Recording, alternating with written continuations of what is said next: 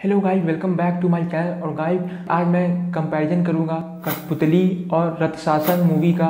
रथ शासन एक तमिल मूवी है जो 2018 में रिलीज़ हुई थी और इसकी रीमेक है कठपुतली, जिसमें अक्षय कुमार हैं। तो गाइस मैं इन दोनों मूवीज़ का कंपैरिजन करूँगा कि कौन मूवी ज़्यादा अच्छी है तो गाइस शुरू करते हैं। बात करते हैं इसकी स्टोरी की तो स्टोरी दोनों की सेम है, क्योंकि रीमेक मूवी है। लेकिन गाइस कठपुतली मूवी में कुछ कुछ सिचुएशन को चेंज किया गया है। स्टोरी को चेंज नहीं किया गया है माइनर सिचुएशन है। इससे स्टोरी पे कोई फ़र्क नहीं पड़ता है। और गाइस बात करें लोकेशन की तो कठपुतली, जो कि शिमला में और हिमाचल प्रदेश के अलग अलग जगह पे शूट हुई है। तो गाइस इसकी लोकेशन तमिल मूवी से ज़्यादा अच्छी है। एक चीज़ सिर्फ़ अच्छी लगी कठपुतली में, जो सरगुन मेहता का रोल था, लेडी ऑफिसर का। एक बॉलीवुड मूवी में ऐसा बहुत कमी होता है, लेकिन यहाँ पे सरगुन मेहता ने ज़्यादा बड़े पद का रोल प्ले किया है और अक्षय कुमार को ऑर्डर देती हुई दिख रही है। कॉलेज का जो एक टीचर था, उसकी कास्टिंग मुझे कठपुतली में बिल्कुल अच्छी नहीं लगी। जो कठपुतली मूवी, उसमें ये नॉर्मल लगता है और इसके एक्सप्रेशन इतने अच्छे नहीं है जितने कि ओरिजिनल मूवी में जो एक्सप्रेशन दे रहा था टीचर जो कि बहुत ज़्यादा डरावना लग रहा था और ऐसा लग रहा था कि यही है मॉन्स्टर जो सीरियल किलिंग कर रहा है। तो इस चीज़ में कठपुतली फेल नज़र आई है। रथ शासन मूवी की लास्ट में जब पता चलता है, जो वो औरत मैजिशियन थी, वो ये सब मर्डर नहीं कर रही है, उसका लड़का किस्टोपस कर रहा है। तो उसके बाद जितना भी लास्ट तक दिखाया गया है किस्टोपर्स को तो वो कहीं ना कहीं हल्का सा एक हॉरर लेवल पे भी ले जाती है वो मूवी लेकिन कठपुतली में ऐसा कुछ नहीं दिखाया गया है। रथशासन मूवी में जो मेन लीड एक्टर था, उसकी जब भांजी का मर्डर हो जाता है और उसी की कार में उसकी लाश मिलती है तो उस टाइम में जो एक्टिंग करते हैं, वो और उसकी जो लड़की का बाप था, उन दोनों का भी बड़ा अच्छा लगता है कि वो छुपा लेता है, बताता नहीं है। लेकिन जब वो कहता है कि मुझे देखने दो तो वहाँ पे जो एक्टिंग थी, जो फेस एक्सप्रेशन था और जो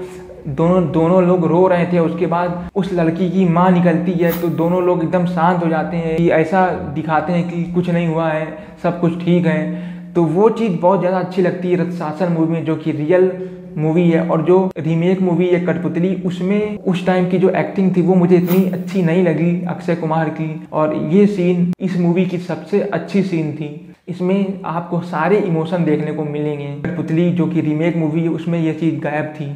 और गाइस जो रियल मूवी थी उसमें एक सस्पेंस बना हुआ था और एक जो बैकग्राउंड म्यूज़िक बज रहा था, वो भी बहुत ज़्यादा सस्पेंस बनाए रख रहा था, बहुत अच्छा दिखा रहा था। वो चीज़ कठपुतली में मिस है। और गाइस एक मेजर फेलियर मैं कहूँगा, कठपुतली मूवी मुझे देखने को मिली जो कि रियल मूवी में नहीं थी, क्योंकि कठपुतली मूवी में हल्की सी स्टोरी ही चेंज कर दी, क्योंकि जो तमिल मूवी में एक्टर जब वो मिसिंग लड़की को ढूँढने जाते हैं लास्ट में जो उनसे बड़े पद की जो लेडी ऑफिसर थी, वो मना करती है, नहीं जाने देती है, उनको हथकड़ी लगवा देती है। लेकिन एक कांस्टेबल होता है, वो मना कर देता है कि मैम आज के लिए जाने दीजिए और वो लेडी ऑफिसर को ही हथकड़ी में बाँध देते हैं और वो कांस्टेबल कहता है कि, सर, आप जाइए, आप उस लड़की को बचाइए। तो रियल मूवी में दिखाया गया कि लेडी ऑफिसर हीरो को बिल्कुल भी पसंद नहीं करती थी। जो भी वो काम करता था और जो भी वो क्लू लाता था केस से जुड़े, वो केस के लिए जो लीडिंग प्रूफ लाता था, उसको भी मानने से वो इनकार कर देती थी। कठपुतली में ये मिस है। शुरू की मूवी में तो सब कुछ ठीक है वाली सीन में यहाँ पे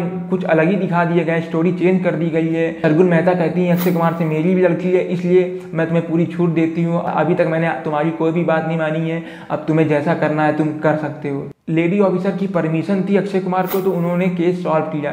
लेकिन जो रथ शासन मूवी है, उसमें लेडी ऑफिसर हीरो के बिल्कुल खिलाफ थी। तो ये स्टोरी बहुत ज़्यादा मेजर चेंज कहूँगा मैं, क्योंकि बहुत ज़्यादा आसान लग गई कि तुरंत उन्होंने केस सॉल्व कर दिया। लेडी ऑफिसर से रियल वाली मूवी में बच के भागा है एक्टर तो वो अच्छी लगी। गाइस जल्दी से मैं बता देता हूँ कि मैंने इस पूरे वीडियो में क्या बताया। तो गाइस कठपुतली मूवी में लोकेशन बहुत ज़्यादा अच्छी है, और जो सरगुन मेहता ने, जो अक्षय कुमार से बड़े पद की लेडी ऑफिसर हैं तो वो करेक्टर भी मुझे ठीक लगा है। क्योंकि बॉलीवुड में ऐसा बहुत कमी होता है। और किसी भी चीज़ में मुझे इतनी अच्छी नहीं लगी, कठपुतली। लेकिन रथ शासन जो ओरिजिनल मूवी है ये पूरी थ्रिल मूवी लग रही थी। और गाइस इसमें एक सस्पेंस बना था। और लास्ट में जैसा कि मैंने बताया था, ये हॉरर मूवी भी लगने लग रही थी हल्की हल्की। तो गाइस अब बात करते हैं रेटिंग की। तो मैं कठपुतली को दूँगा। Two out of five star और रथ शासन जो कि ओरिजिनल मूवी है, उसको मैं दूँगा। Three point five out of five star और गाइस इस वीडियो में इतना ही। तो गाइस मिलेंगे फिर किसी नेक्स्ट वीडियो में।